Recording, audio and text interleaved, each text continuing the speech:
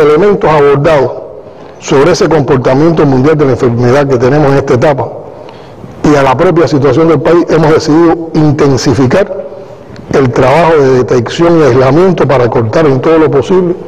el contagio y la transmisión de la enfermedad. Entonces, la primera medida que queremos aquí informar, que después ampliarán otros compañeros, es que vamos a regular la entrada por las fronteras del país, dejando solo autorizada la entrada de los residentes en Cuba, con la flexibilidad de garantizar la cooperación con otros países, o sea, si tenemos que ir a cooperar o si llega cooperación a nuestro país,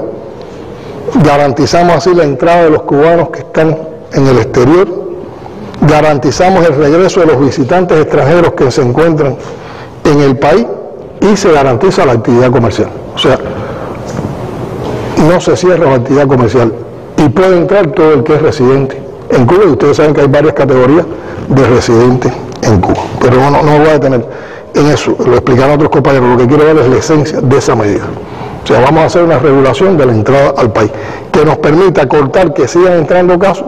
y centrarnos entonces en detectar más lo que debe estar en el país y poder actuar eficientemente y con eso cortar la transmisión. Los términos en los cuales se va a prolongar esta medida se van a dar a conocer posteriormente.